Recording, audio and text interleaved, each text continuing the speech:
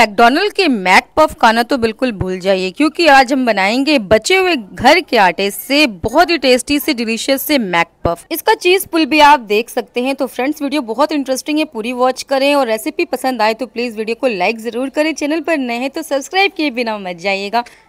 वैसे तो ये रेसिपी हम रात के बचे हुए गेहूँ के आटे से भी बना सकते हैं, लेकिन इसके लिए मैं आज यहाँ पे फ्रेश आटा ले रही हूँ। तो एक कप आटे से आज हम ढेरों मैकडोनल्ड्स जैसे मैक पफ बना के रेडी करेंगे। एक कप में थोड़ा सा आटा कम था तो मैंने डाल दिया। ये तकरीबन 150 ग्राम आटा है। इसमें हम डालेंगे नमक स्वाद अनुसार। इसके बाद हम इसमें डालेंगे ऑयल तो बहुत ही लेस ऑयल डालना है। एक चम्मच ऑयल सफिशियंट होगा इस रेसिपी के लिए। अब इन चीज़ों को हम इसी तरह से मिक्स कर लेंगे। फ्रेंड्स, इस तरह से जब आप एक बार गेहूँ के आटे की ये रेसिपी ट्राई करेंगे तो आपको यकीनन बहुत ज़्यादा पसंद आएगी। बच्चे तो इस रेसिपी के फ़ैन हो जाने वाले जब भी मन करे आप उन्हें बना के इसे खिलाएँ और मैकडोनल्ड्स वगैरह तो जाना बिल्कुल ही भूल जाएँगे। तो देखिए, यहाँ पर हमने आटे को अच्छे से यहाँ गूंद लेना है। बहुत ही कम पानी लेना है और आपको एक सॉफ्ट सा डो लगा लेना है। मतलब कि यहाँ पर ना सख्त डो चाहिए हमें और ना ही नरम। तो पाँच मिनट तक मैं आटे को अच्छे से गूंद लूँगी। ये देखिए, आटा हमारा यहाँ पर अच्छे से गूंद चुका है। पाँच मिनट तक आप इसे छोड़ दें कवर करके रेस्ट करने के लिए। आटा अच्छे से रेडी हो जाएगा हमारी रेसिपी को बनाने के लिए। उसके बाद यहाँ पर मैंने लिए हैं बॉइल्ड किए हुए मैश आलू। जी हाँ हम इसे आज बना रहे हैं आलू से, क्योंकि बहुत ही हेल्दी होता है बच्चों के लिए तो आप इसे ज़रूर से ज़रूर डालें। आप अपनी पसंद की जो भी वेजेस ऐड करना चाहें कर सकते हैं, लेकिन मैं इसे आलू से बना रही हूँ और यहाँ पर मैंने बारीक कटा हुआ प्याज और थोड़ी सी हरी मिर्च डाली है। हरी मिर्च डालना यहाँ पर ऑप्शनल है, आप चाहें तो इसे टोटली स्किप कर सकते हैं। थोड़ा सा नमक डाल रहे हैं हम। थोड़ा सा रेड चिली पाउडर लिया है मैंने। अब इसके बाद हम इसमें डालेंगे चाट मसाला पाउडर इसके साथ लिया मैंने यहाँ पर थोड़ा सा सेंधा नमक बहुत अच्छा फ्लेवर आता है थोड़ा सा चिली फ्लेक्स ऐड कर रही हूँ। अब इसके बाद हम इसमें डालेंगे भुने हुए जीरे का पाउडर इसके बाद लिया थोड़ा सा कसूरी मेथी, बहुत ही अच्छा सा फ्लेवर आ जाता है। अब इन सारी चीज़ों को डालकर हम अच्छे से इसे मिक्स कर लेंगे और यहाँ पर देखिए, बहुत ही इंस्टेंट सी हमारी जो फिलिंग है, इसमें डालने के लिए रेडी हो चुकी है। तो घर में जब ये रेसिपी आप बनाएँगे, आपको बहुत पसंद आने वाली है उसके बाद अनदर बाउल ले लेना है हमें और अब इसमें हम डाल देंगे थोड़ा सा आटा। तो दो टेबल स्पून के करीब आटा है, इसमें हमने चिली फ्लेक्स ऐड किया है। थोड़ा सा यहाँ पर मैं कढ़ी पत्ता डाल रही हूँ और नमक डाला है मैंने। इसके साथ ही फ़ूड कलर डाल रहे हैं, जिससे कलर बहुत अच्छा आएगा। टोटली ऑप्शनल है, आप इसे स्किप कर सकते हैं। इसके बाद यहाँ पर हम वाइट तिल यानी कि ससमे सीड्स ले रहे हैं। और इन सारी चीज़ों को डालने के बाद एक बार अच्छे से मिक्स करेंगे, उसके बाद लेंगे पानी। तो पानी आपको यहाँ पर थोड़ा थोड़ा करके डालते रहना है और इससे मिक्स करते रहना है। इसकी जो कंसिस्टेंसी है ना, आपको एकदम ऐसी चाहिए होती जैसे हम पकौड़े का बैटर बनाते हैं ना सेम उसी तरह की आपको इसकी जो कंसिस्टेंसी है, वो रखनी है। तो थोड़ा थोड़ा पानी डालकर हम इसका एक थिक सा पेस्ट बना रहे हैं। अभी भी मुझे यहाँ पर ये पेस्ट थोड़ा सा थिक लग रहा है तो थोड़ा पानी और डाल रही हूँ। और डालकर यहाँ पर हम इसे अच्छे से एक बार और ही मिक्स कर लेंगे। आप इसे विक्स से भी मिक्स कर सकते हैं। यहाँ पर देखिए, हमने इसे मिक्स करके इसका एक अच्छा सा घोल बना लिया है। अब हम यहाँ पर इससे पाँच मिनट के लिए छोड़ेंगे इससे हमारा जो घोल है अच्छे से रेडी हो जाएगा। अब देखिए, आटे को रेस्ट करते हुए पाँच से सात मिनट का टाइम हो चुका है। अब हम इसे हाथों पर अच्छे से चिकना कर लेंगे इस तरह से और इसे हम दो हिस्सों में डिवाइड करेंगे। तो इक्वली आपको इसे दो हिस्सों में डिवाइड कर लेना इस तरह से देखिए, हम सरफेस पे इसे रखेंगे।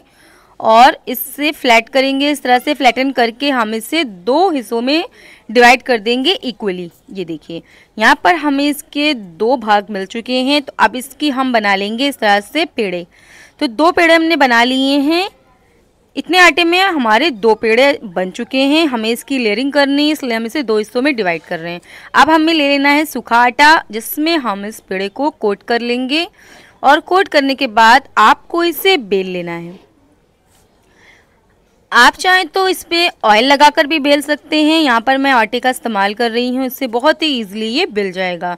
तो आपको एक मोटी सी इसकी रोटी बेल लेनी है फ्रेंड्स मैंने अपने चैनल पर काफ़ी सारी गेहूँ के आटे की रेसिपीज़ शेयर की हैं, जो आप स्नैक में बना सकते हो। और मैदा वगैरह खाना भूल जाइए। अब आप जब भी कोई रेसिपी ट्राई करें तो मेरी रेसिपीज़ देखें और आप इसे गेहूँ के आटे से बनाएँ। बहुत ही टेस्टी भी बनती है और हेल्दी भी होती है। अब देखिए, दोनों रोटी हमने इसी तरह से बेल लिया था। उसके बाद यहाँ पर ले लिया है शेजवान सॉस बहुत ही अच्छा सा फ्लेवर आएगा फ्रेंड्स एक बार आप इस सॉस को लगा के, इस रेसिपी को बना कर देखें. आप चाहें तो घर की चटनी भी लगा सकते हैं. कोई भी आप इसके ऊपर डिप लगा सकते हैं या सॉस यूज़ कर सकते हैं. लेकिन मैं यहाँ पर शेजवान सॉस यूज़ कर रही हूँ. ये काफ़ी स्पाइसी होता है ना, इसलिए बहुत ही अच्छा सा फ्लेवर आता है इसका. देखिए, हमने एक नाइफ़ की हेल्प से पूरी रोटी पर अच्छे से इसको स्प्रेड कर लिया है. ये देखिए, अब हमें करना क्या है? जो हमने आलू का मसाला प्रिपेयर किया था, अब हमें इसके ऊपर इसकी एक लेयर लगा लेनी है। ये देखिए फ्रेंड्स हम यहाँ पर इसकी अच्छे से एक लेयर लगाएँगे। आप इसकी जो लेयर लगाएँ, वो थोड़ी मोटी लगाएँ। इससे क्या होता है, काफ़ी सारी फिलिंग आती है इसके अंदर और खाने में बहुत ही ज़्यादा टेस्टी लगती है। तो देखिए, यहाँ पर हमने इसकी एक अच्छी सी लेयर लगा लेनी है। और इवनली हमने इसे फ्लैटन कर लिया है। उसके बाद ले लिया है हमने यहाँ पर पिज़्ज़ा तो यहाँ पर मैं मोजरेला चीज़ का इस्तेमाल कर रही हूँ। आप चाहें तो प्रोसेस चीज़ भी ले सकते हैं या आप डायरेक्टली आलू में भी इसे मिक्स करके इकट्ठा इसकी एक लेयर लगा सकते हैं। तो मैं डबल लेयरिंग कर रही हूँ। इस तरह से बहुत ही अच्छा सा चीज़ पुल भी आता है। अब इसके ऊपर हमें जो दूसरी रोटी हमने बेल कर रखी थी लगा देनी है इसी तरह से। और इसकी जो साइड्स है ना, आपको अच्छे से लॉक करना है। तो हम इसकी जो साइड्स है ना, एक फोक की हेल्प से अच्छे से बाइंड करेंगे इस तरह से। इससे क्या होगा ना, इसके साइड्स अच्छे से लॉक हो जाएँगे और हमारी जो चीज़ और स्टफिंग है, आलू की, बिल्कुल भी बाहर नहीं आएगी। तो ये देखिए, हमने पूरी की पूरी इस तरह से रोटी को लॉक कर लिया है, सिक्योर कर लिया है। अब इसे आपको हल्के हाथों से इस तरह से उठा लेना है। ये देखिए थोड़ा सा मैदा या आटा आपको डस्ट करना है तो आटा ही मैं यहाँ पे डस्ट कर रही हूँ। हमने मैदे का इस्तेमाल बिल्कुल भी नहीं कर रहा है। देखिए, इस तरफ़ से हमने इधर भी आटा डाल दिया है और थोड़ा सा आटा ऊपर से और मैं डस्ट कर ले रही हूँ। अब आपको इसके ऊपर हल्के हाथों से बेलन रोल कर लेना है। इससे क्या होगा ना कि ये बहुत अच्छे से सिक्योर हो जाएगी और इससे थोड़ा सा हम फ्लैटन कर रहे हैं ना तो तीन से चार बार आपको हल्का हल्का सा इससे बेलन से रोल आउट करना है और अब ये देखिए, हमारी जो रोटी है बढ़िया सी रेडी हो गई है मैक पफ बनाने के लिए। तो मैं इसे इस तरह से पिज़्ज़ा वाला शेप दे रही हूँ, आप अपनी मनपसंद का कोई भी शेप दे सकते हो। या आप इससे डाई मैक पफ वाला शेप दे दें या फिर आप इस तरह से इसे कट कर लें। तो अपनी मनपसंद का शेप आप जो भी देना चाहें दे सकते हैं। इसे हमने अच्छे से कट कर लिया है, ये देखिए। और बहुत ही डिलीशियस से हमारे जो नाश्ते के पीसेज हैं, ये बनकर रेडी हो चुके हैं। एक प्लेट पर हमने इसे निकाल लेना है और इसके बाद हमें ले लेना है वही बैटर तेल को मैंने गर्म होने के लिए रख दिया था। अब जिस बैटर को हमने बना के रखा था, आटे का घोल, इसमें हमें इसे कोट करना है इस तरह से। और उसके बाद हम इससे गर्मा गर्म तेल में डाल देना है। तेल यहाँ पर आपका गर्म होना चाहिए अच्छे से। जब अच्छे से आपका ऑयल गर्म होगा ना, जो ऊपर हम इसकी कोटिंग कर रहे हैं आटे की, ये फॉर्म हो जाएगी और ये जो इसकी लेयर है ना, ये बिल्कुल भी तेल में ख़राब नहीं होगी। तो देखिए हाई फ्लेम पर आपको इसे डालना है, उसके बाद इसकी फ्लेम मीडियम करनी है, क्योंकि आटा कच्चा है, इसलिए हमें इसे अच्छे से फ्राई कर लेना है। पाँच से सात मिनट का टाइम लग जाएगा, आप देख सकते हैं कैसे चीज़ बाहर आ रहा है।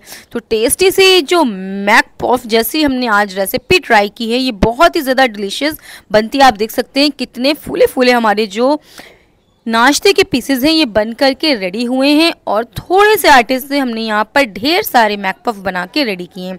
तो बाकी बचे हुए पीसेज भी मैंने इसी तरह से डाल दिए हैं और आप देख रहे हैं, सारे के सारे पीसेज हैं, इनमें बहुत अच्छा सा कलर आ चुका है और ये काफ़ी अच्छे से फूले भी हैं। तो फ्रेंड्स रेसिपी कैसी लगी है कॉमेंट बॉक्स में मुझे ज़रूर बताएँ और आपको मैं दिखाती हूँ यहाँ पर इसका जो टेक्स्चर है, वो कैसा आया है।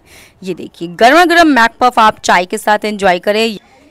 या फिर सॉस के साथ? तो आप इसे टमाटो केचप के साथ भी एंजॉय कर सकते हो। बहुत टेस्टी लगती है। फ्रेंड्स रेसिपी कैसी लगी? कमेंट में ज़रूर बताएँ। और वीडियो को लाइक ज़रूर से ज़रूर करें और इसे अपनी फैमिली एंड फ्रेंड्स के साथ शेयर करें। चैनल पर नए सब्सक्राइब करें। बेल आइकन प्रेस करें जिससे वीडियोस की सारी नोटिफिकेशन सबसे पहले आप तक पहुँचे। मैं डेली आपके लिए एक नई वीडियोस के साथ आती हूँ और आजकल मैं आपके लिए डेली बहुत ही अच्छे अच्छे नाश्ते इसकी रेसिपीज़ लेकर आ रही हूँ। आप इसका चीज़फुल देख सकते हैं। कितना ज़्यादा बढ़िया आया ये देखिए। दूसरा भी हम उठा के देखते हैं। और दोनों में बहुत ही अच्छे सा चीज़ पुल आया है। खाने में काफ़ी टेस्टी बने थे तो आप भी ज़रूर से, ज़रूर ट्राई करें। मैं मिलती हूँ आपसे नेक्स्ट वीडियो में, तब तक